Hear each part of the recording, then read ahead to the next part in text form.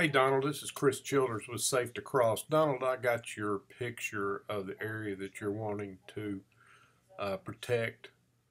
And uh, I'm looking at this picture and it looks like we have a forklift aisleway and you want to block off both ends of this particular area. Uh, while forklifts are in the area, you want to have the forklift drivers with the capability of raising uh, what we'd use is a standard, one of our standard crossing arms on both ends of the aisle. And it might look something like this. This is our standard heavy duty industrial crossing arm. Uh, both of these crossing arms can be tied together with the same controls. This is an 8 by 8 inch by quarter inch steel beam which encases all of our drive component and we have a control panel located on top of each post. Uh, we would have, uh, this would be PLC controlled in the master, this would be the slave. Uh, we would have high intensity LED lights on top of both panels with audible, 92 dB audible, and uh, the forklift driver would simply drive up. Now we can activate this system several different ways. We can use an overhead pull chain, we could use photo eyes uh, mounted in your aisleway so the forklift would block the photo eye, or we could use an, a wireless key fob, and this key fob would be located in the cab of the forklift. He simply presses a button that would activate the system. Once the system is activated, we immediately would, would illuminate high intensity lights on both ends with audible.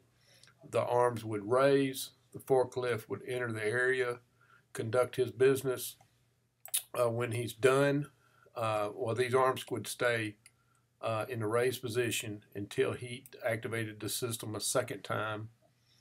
Uh, and at that point in time, we actually have motion sense that mounts in the front that determines there's nothing underneath the crossing arm.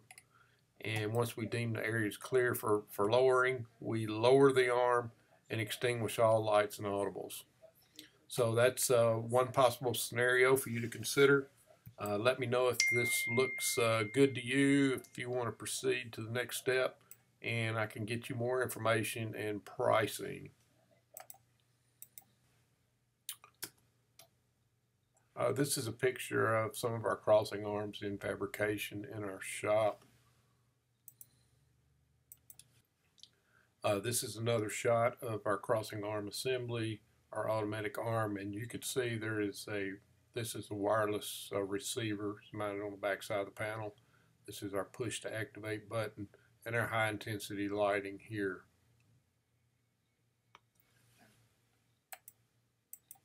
This is an example of one of our wireless key fobs, which this is actually, we have an actual uh, mounting cradle that goes into a forklift. And uh, this industrial key fob, we can have up to eight buttons for eight different devices in your case, it would uh, probably be a single button uh, key fob. These would communicate directly to the wireless receiver mounted on the back side of the panel and would provide for the wireless activation of both of your arms.